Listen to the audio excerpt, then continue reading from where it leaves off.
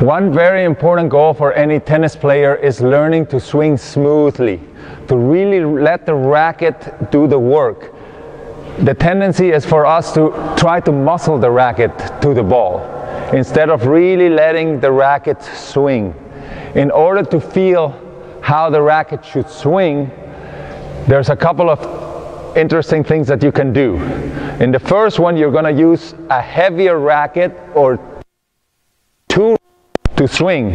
The extra weight will really help you feel the swing of the racket. The idea is to really hold the racket loosely and let the racket move as if by itself. visualize that you're throwing the racket to the other side.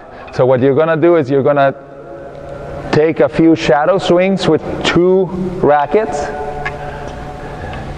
and then you're going to leave one racket down and you're going to try to swing using your normal swing and try to emulate that feeling that you had of letting the racket do the work. Make sure that you're holding the racket always very loosely. One of the main problems with choppy swings is pressing on the grip too much. So keep the grip nice and loose. Let the racket do the work, nice and relaxed. Let the racket do the work. Let the racket swing.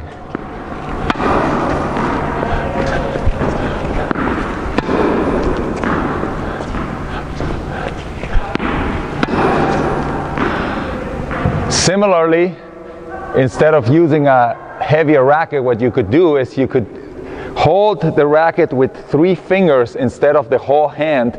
That will guarantee that you're not really pressing on it, and it also is going to keep the racket nice and loose. And uh, it, it creates a similar effect than holding a heavier racket. So what you're to do is you hold the racket with the top three fingers, keeping the bottom fingers off the grip. Try to take a few practice swings, letting the racket swing, feeling how the racket kind of travels smoothly through the air. And then you're to try to swing like that.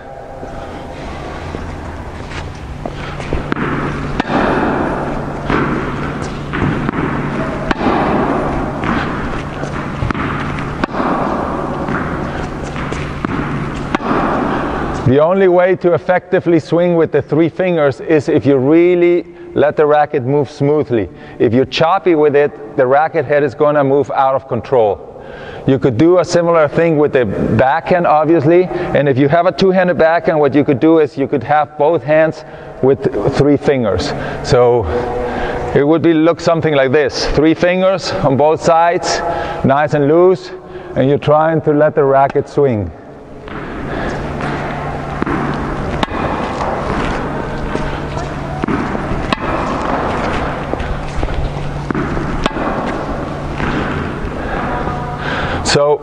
Developing an effortless swing is really going to make a difference in your game.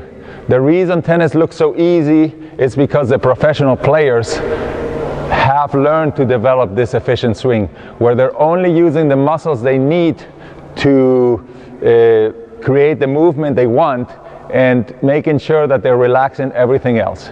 Try these two exercises and your, your swing will become smoother and smoother.